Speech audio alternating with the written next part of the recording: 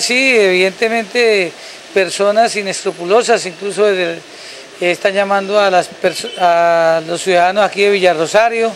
y es evidente, ha habido múltiples denuncias ya tenemos de, los ciudadanos y tanto personas de,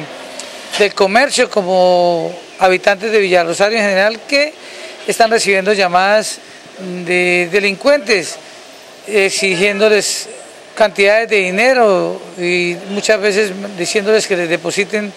a cuentas bancarias determinadas sumas. Esto la Secretaría de Gobierno, la, Alcaldía Municipal,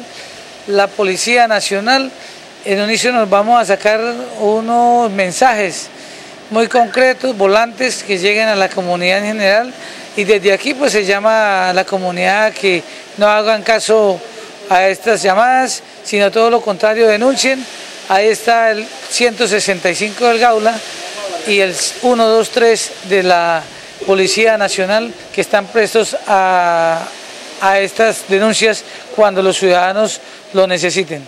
Eh, doctor Ernesto Sánchez, a veces las personas cuando reciben una llamada de sorpresa, muchas veces la señora que está en la casa haciendo los quehaceres o reciben el hijo o la hija o la muchacha de servicio, eh, se atribulan y, prácticamente entran en shock. Eh, lo mejor que hay es denunciar. Obviamente lo mejor que es denunciar, porque por experiencia propia, incluso usted sabe que la semana pasada hicimos un consejo extraordinario de seguridad departamental aquí en el municipio,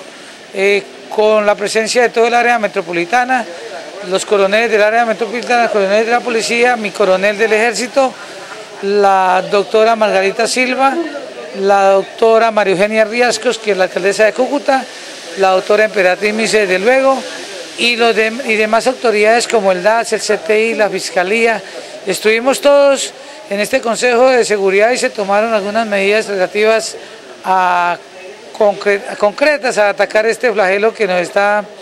esto atacando, azotando a la comunidad y desde luego para que hacer medidas preventivas sobre todos los asesinatos que están ocurriendo en, nuestro municipio. Como para nadie es un secreto, este es una frontera bastante eh, peligrosa, se, ha,